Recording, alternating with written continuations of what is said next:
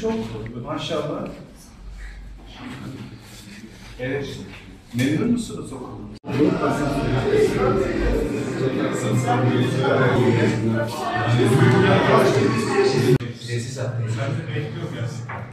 Yani meslek seçiminiz ne olacak? Var mı bir kararınız? Ben kaynaklı olmak istiyorum. Oo, sanayide çalışacaksın. Metalci. Metal yani metal, kaynak metal. tamam. Otomobil mi yapacaksınız? Uçak mı yapacaksınız? Tamam, çok güzel. Ben mobilyacı olmak istiyorum. Bak İnegöl için en kıymetli değerlerimizden biri mobilya ve ismi ne? Süleyman.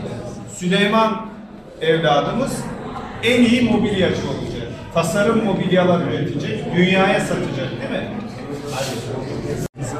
İnşallah meslek seçimini yapmış. Hadi başarılar. Evet, motor çok çok önemli. İnşallah araç tasarlayacaksın. Çok iyi. Aşçı. Evet.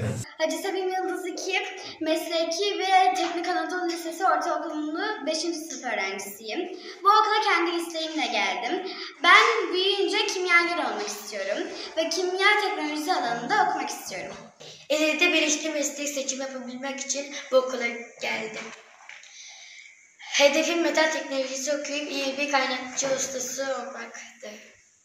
Burada yeni açılan, Türkiye'de ilk olan e, meslek ortaokulu uygulaması ilçemizde de e, başlamış durumda. Şu anda Türkiye'de 4 ilimizde mesleki ortaokulu e, açıldı. Birisi de ilçemizde ve ilçemizin sanayi altyapısının güçlü olması, mesleki eğitim lise düzeyinde altyapımızın güçlü olması e, buradaki okulun açılmasında tercih sebeplerinden birisi oldu. E, okulumuzun şu anda 64 öğrencisi var ve e, rağbet gören bir bölüm olarak e, ilerleyen yıllarda daha da sayının artacağını düşünüyoruz.